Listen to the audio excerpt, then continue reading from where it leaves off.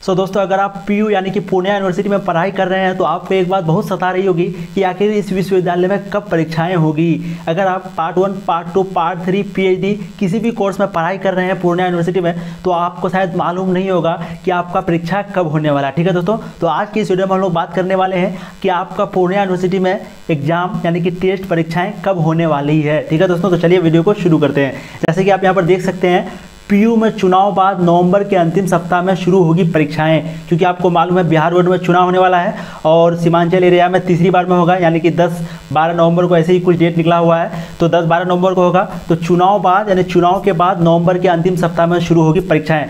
चुनाव बाद तो दीपावली छठ, शायद कुछ पूछा तो चलिए हम लोग आगे देख लेते हैं क्या है। सबसे पहले आप देख सकते हैं यहाँ पर पूर्णिया विश्वविद्यालय में परीक्षाओं का दौर नवंबर के अंतिम सप्ताह में, सप्ताह यानी लास्ट वीक में शुरू होगी। इसको लेकर फ़िलहाल तैयारी चल रही है। स्नातक द्वितीय खंड की परीक्षाएँ फॉर्म भरा गया है। जो स्नातक द्वितीय खंड की परीक्षा का फॉर्म भरा दिया गया है, ठीक है? स्नातक प्रथम खंड समेत अन्य पाठ्यक्रमों के प्रथम खंड का परीक्षा फॉर्म अगले सप्ताह से भरा जाएगा। और प्रथम खंड का जो है नेक्स्ट वीक से जो है भरा जाएगा इसका फॉर्म ठीक है दोस्तों? फिर आप आगे देखिए। अक्टूबर में परीक्षा पूर्व तैयारी को अंतिम रूप दिया जाएगा। अक्टूबर में अंतिम रूप। कोरोना के कारण इस वर्ष की अधिकांश परीक्षाएँ लंबित है, यानी विलंबित है। जुलाई अगस्त में पीएचडी कोर्स वर्क एवं पीजी द्वितीय एवं चतुर्थ सेमेस्टर की ऑनलाइन परीक्षा हो चुकी थी। ठीक है? पीएचडी कोर्स वर्क एवं पीजी द्वितीय व चतुर्थ सेमेस्टर की ऑनलाइन परीक्षा जो है हो गई थी। कब? जुलाई और अगस्त में। फिर आगे देखिए।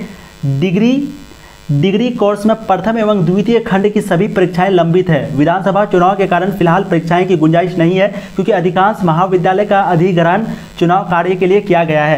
यानी जितना भी महाविद्यालय है तो वो क्या कहता है, चुनाव के लिए या वहीं पे जो है चुनाव होने वाला है, इसलिए उसी के लिए उसको तैयार कर रहा है। ठीक है दोस्तों, इसलिए एग्ज़ाम लेना संभव नहीं है। फिर देखिए, वहाँ बावजूद एवं मतगणना केंद्र बनाए गए हैं, मतदान अंतिम चरण में सात नवंबर को और मतदान 10 नवंबर को निर्धारित है, मतगणना। यानी कि जो रिज़ल्ट जारी होने वाला इलेक्शन का तो कब है? 10 नवंबर को है।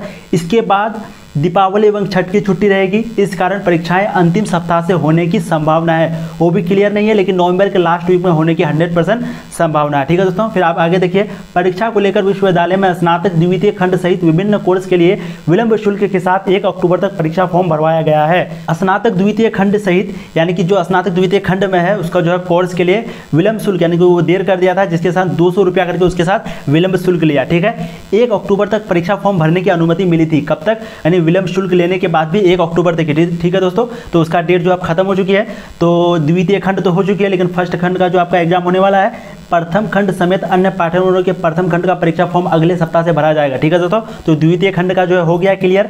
कब तक हो गया है? एक अक्टूबर तक लास्ट था।